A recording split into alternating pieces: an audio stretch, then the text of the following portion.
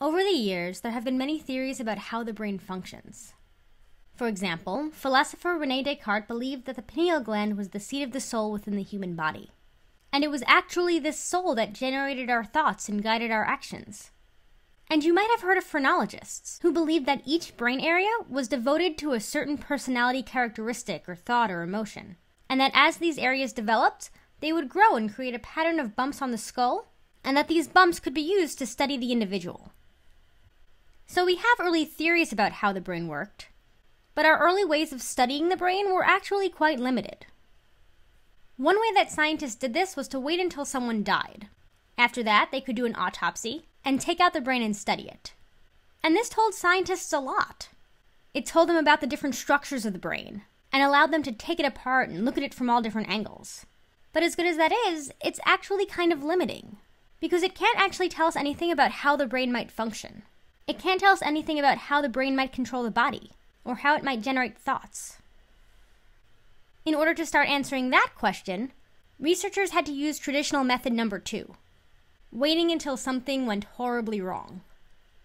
So, waiting until someone has some kind of brain injury, and then studying the effect that this injury has on the individual. And one of the best examples of this is Phineas Gage. And in 1948, Gage was working for a railroad company when he suffered a terrible accident. An explosion called an iron rod, actually the rod that you can see in this picture right here, to go directly through his head. Literally going through the front of his face, his left cheek, and coming out at the top of his head. And I have a picture of his skull here, which was taken and studied after he died, and you can clearly see the exit wound at the top of the skull. And, as you have probably guessed, considering that he is seen here posing with that metal rod, Gage survived. In fact, he apparently walked away from the accident and stayed conscious despite the fact that he lost part of his brain and a lot of his blood. And while his physical recovery was pretty amazing, what he is most famous for is the effect that the accident had on his behavior and his personality. Whereas before he was a hard working, responsible, mild mannered, and kind man, afterwards he was violent, angry, vulgar, and unpredictable. In fact, the changes to his behavior were so profound that when a friend of his was describing him, he claimed that Gage was no longer Gage. And what scientists were able to learn from this and from similar accidents was the idea of cerebral localization, the idea that specific parts of the brain could control specific aspects of behavior and emotion and thought, even personality. And it actually always really amused me that the phrenologists, while wrong about many, many things, turned out to be somewhat right about this one.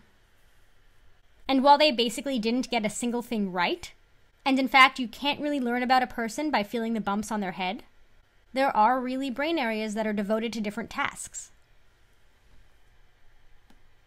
But even though these instances were able to teach scientists a lot about the brain, there is still a major problem with trying to study the brain through our observations of the effects of accidental damage. And that's that we don't have a lot of control over it. We don't have control over which places are damaged. And since strokes and accidents typically result in damage to multiple brain areas, it can be hard to isolate what brain area is responsible for what behavioral change. But there are some ways around this. For example, in 1861, Paul Broca, who's shown here, studied a patient who he called patient Tan. We'll talk about why in a moment. But this patient had a very particular problem. Despite the lack of damage to his mouth or throat or lungs or vocal cords, he had lost the ability to speak. In fact, he could only say the word tan, hence the nickname. But at the same time, he didn't seem to suffer from any other kind of mental dysfunction. And when this man died, Broca discovered that he had damage to a very particular part of his left frontal lobe, the area that's shaded in red here. And following this, Broca conducted autopsies on a number of other deceased individuals who had demonstrated, among other things, the same problem with speech production. And even though the pattern of brain damage was somewhat different for all individuals, they all had one thing in common damage to this particular brain region in the left frontal lobe. And from this, Broca was able to determine that this area of the brain must somehow be involved in speech production. And today, we even call that area of the brain Broca's area in his honor. And people who have damage to this area, who have trouble with speech production, are said to have Broca's aphasia. And the term aphasia just refers to the loss of ability to understand or express speech. So, Broca's aphasia is an aphasia that's caused by damage to Broca's area. But despite the occasional success of this method, you may have noticed a slight problem with it. And that's that it requires an autopsy to be performed, meaning that they have to wait until the person dies in order to confirm what areas of the brain are actually damaged. And as it turns out, that might take a while.